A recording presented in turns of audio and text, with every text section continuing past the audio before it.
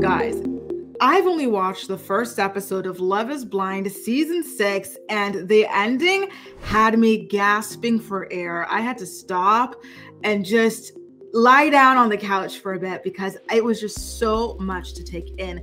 The amount of love triangles, love squares, because there were even more people involved. I can't. I'm overwhelmed. I'm getting older, I guess, because my heart is just too weak for all of these plot twists. Um, I'm quite shocked because I didn't really see it happening like that from the trailer. It looks a little bit snoozy, boring, but this is looking shipping up already. Episode one to be a really good season. But let's get into it in chronological order. And as always, do make sure to subscribe to my channel if you haven't already for reality TV recaps and pop culture celebrity news. Okay, let's go.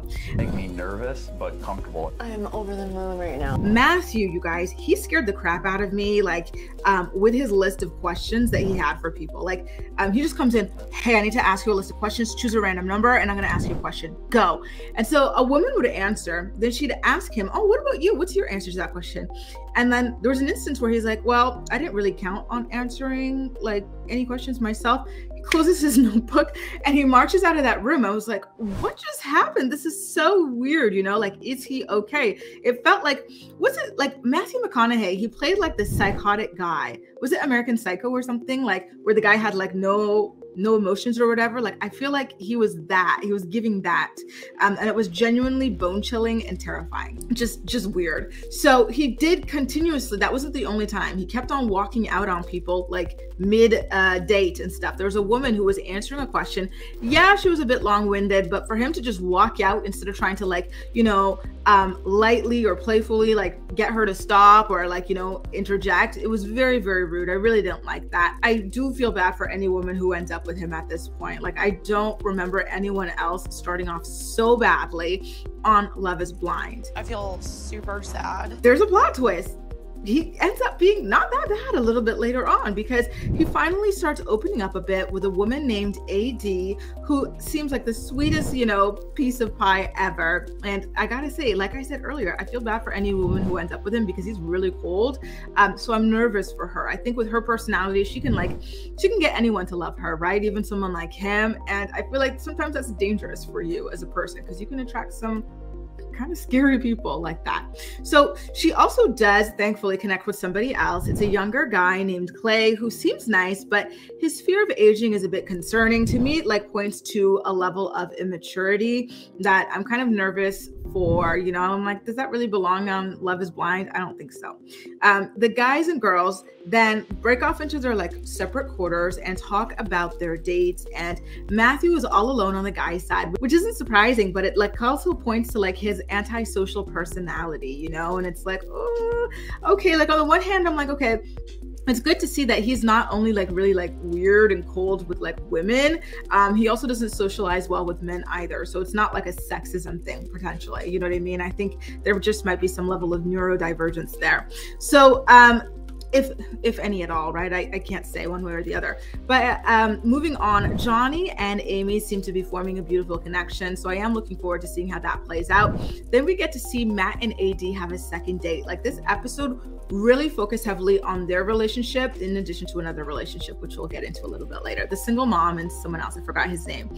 So matt and ad have a second date and he seems to be opening up which is really really good and they talk about their feelings a bit more, which uh, is actually much deeper than the conversation that AD had on her second date with Clay. Clay and her, it was very superficial, like, oh, flirt with me, talk dirty to me, just like stupid stuff like that. Okay, now let's talk about the other couple that was very heavily featured this episode. It was Jessica and Jimmy. She is really feeling him, so she decides to tell him about her daughter. She is the first ever single parent on Love is Blind US, so it's gonna be huge. Like, I don't think anyone from the US side is walking into this expe- uh, competition or what do you call this experience? Experiment. Expecting to find a single parent because as of now kinetic content the company that produces this has always said they don't believe in allowing single parents um, or children to be involved in this experiment which you know listen people yeah, so it's gonna be he's gonna feel blindsided, let's say. In my opinion, though, Jessica is so gorgeous that even if he's not into the whole kid thing, he might accept her daughter just to be with her, you know, because I think she's probably like the hottest girl he's been with, and she's so nice too. So like he could warm up, he could warm up to the entire ordeal. Before she breaks the news about her daughter, he tells her about being insecure about his family because he grew up poor and that prevented him from going after certain types of women in the past. Listen, Jessica very obviously has touched her face, okay, which I think is wonderful. I've touched my face too, okay, so this is not a judgment. Um, like she, she, very obviously has lip filler. I believe she's got chin filler. I wouldn't be surprised if she had Botox uh, for the brows and maybe um, crow's feet, and I wouldn't be surprised if she had cheek filler as well. So to me, that screams like you know you've got disposable income because it's not cheap doing this sort of thing, you know. Um, so I wonder if that's going to make him feel a little bit insecure as well when he sees her. But listen, she says she's okay with it because she's had her own fair share of issues with her family and whatnot, and she's been through a lot. So it's going to be interesting to see how they connect on that front. But at this point, she breaks the news about her daughter, and he asks her why she didn't tell him about her earlier. And to be honest, I'd be really pissed if someone I were dating waited, like, you know, to tell me that they had kids because it's a complete an utter non-negotiable deal breaker for me. So I feel like you not only wasted my time, but you wasted your own time too, like catching feelings or developing feelings. You know, like feelings are not going to change what is a fundamental deal breaker for people. You know, so I do wish that you were upfront about it before, like you know, the connection. But lucky for her, it's not a deal breaker for him and he's understanding so they can continue to move forward in their relationship and at this point he asks her to tell her him a little bit more about his about her daughter. And he goes her name's autumn. Why does she always go like the season? Like what else is autumn? Please in the comment section tell me one one more thing just one more thing that is autumn. You know what i mean? She's like her name is autumn like the season. Okay not like the not like the i don't know the lip balm color? Like what is it you know and by the way, the girl, the daughter is 10 years old, which I think isn't that bad. You know, 10 years old, it's like, all right, halfway out the house already. So that's good. Um, and so he asks about the baby daddy. Like, were you guys married? Like, what kind of relationship was it? And what kind of relationship do you have now as co parents? So Jessica tells him that it's a guy that she had known since elementary school. She moved down around a lot, and so he was her only constant. And she got knocked up in high school, and they broke up about a year after Autumn was born. She seems a little bit insecure that like having a child so young makes her sound like she was promiscuous when it's not really the case. It's just being young and not knowing how contraception works, right? So he tells her that he has feelings for her and he always knew that she was there for the right reasons. So I feel like that must have been a huge relief for Jessica to know that like those feelings are still there, um, you know, after she broke the big news. But wait a minute, I didn't know that he was into another woman. See, this is what I mean. Like, there's just so many damn plot twists. First, with Matt going from like American Psycho to being like sweet with AD. Now you've got Jimmy, who seems to be in love with Jessica. You think that's going to be endgame there. And then, boom, turns out he's got another love interest. We see him flirting hardcore with a woman named Chelsea. Um, and so she's got her very own big news to break to him. I remember how former Love is Blind cast members always say that, like, every day there is a theme to what your discussions will be typically sometimes to like help structure things. And so I think this was like the day where everybody had to reveal something big about themselves. And so that's why he was getting bombarded with this sort of information on the same day. And so her big news is that she was married. Well, she's a divorcee, uh, or divorcee she's divorced. she had she was married at 18 years old and divorced after 5 years of marriage. Which listen, for an 18 year old like you know, in this era, that's pretty good. Eight, five years of marriage at that age, you know, like there's a lot of like 30 year old, 40 year olds who can't last five years of marriage now, you know? so that's pretty good. Um, and it's just so funny what they were both doing at 18. One was getting married, the other one was having kids. So um, he says that he that, that news doesn't scare him. She's like, he's like, listen, after the news I just got, this is nothing. It's fine. And so she starts like crying because his reaction is kind of weird. She's like, does he not like me anymore? Like, what's going on? Like, um, the whole thing was just very, very awkward. But, you know, it just is what it is at that point. We're going to have to wait and see how that relationship continues to develop. She's like, you know, it's fine. You're not going to like everybody. Everybody's for everybody. He's like, that's like the opposite of what I'm trying to, to tell you. So it seems like he still is ready to move forward with both ladies. And so, yeah, Ooh, is this yeah, this is a love triangle. Okay. Um, Actually, wait a minute. No, plot twist. My heart goes again like this. My heart is pounding. There's a fourth person. It's a guy named Trevor who is connecting really well with Chelsea. Okay. And he says that she's the only one that he can see himself marrying. And she's ecstatic about it, which is like wild because she was just ecstatic about Jimmy. Guys, do you see what I mean? I'm overwhelmed right now. Um, let's go to Clay and his situation with AD. They have another date, and we see him start opening up to AD about his feelings a bit more, which was nice to see.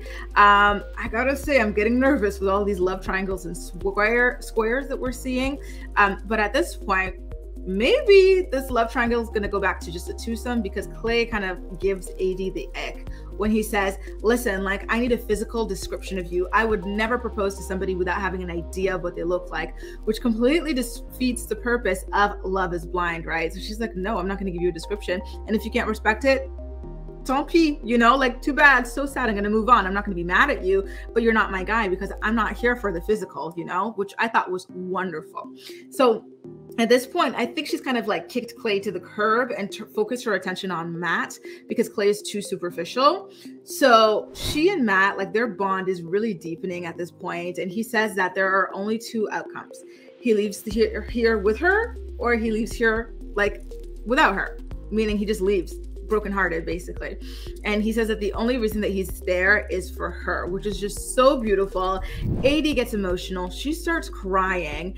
And he says that his greatest accomplishment is finding her which to me is like all right now it's getting weird dude. Like i'm sure you have you have a lot of wonderful accomplishments. You're well educated. You got a wonderful career finding this girl like that you've known for 48 hours on a show is not your greatest accomplishment. It's too much for me at that point. It's starting to feel a little disingenuous, but listen, we're going to go along for the ride. He says that he wants to call his mom and tell her that he found the one. And it's like, all right, listen, that I can believe because people fall hard on the show, right? And at this point, I'm like, I can't believe this is the same guy who was just so effing cold to everybody at the beginning. Like, he has turned into a total sap for AD. Um, guys, then I start going, oh my God, like they're in North Carolina, which by the way, shout out to North Carolina. I've been there once and I actually really loved it. Um, but I don't know about the racial dynamics too much there. Like, is he expecting for her to be black? Like, is that gonna be okay? Like for the both of them? Like, I feel like she knows he's white. Like she made a comment about it and she's okay with it, even though she said that she's not like she's never dated a white guy. She never thought she would, but she's gonna go for it. Um, but we haven't heard him speak like that. So I'm like, oh, I hope that's gonna be okay, you know? Um, and so it's like she reads my mind because at this point she brings up race and she's like, you know, how important is like, you know, your partner's race to you? And he goes, Well, it's not important at all. Why? She's like, just asking. and her voice cracks and it's just so funny. It's like, okay, at this point, he knows you're a woman of color, but he doesn't know what color. There's so many options out there. So that's gonna be interesting to explore.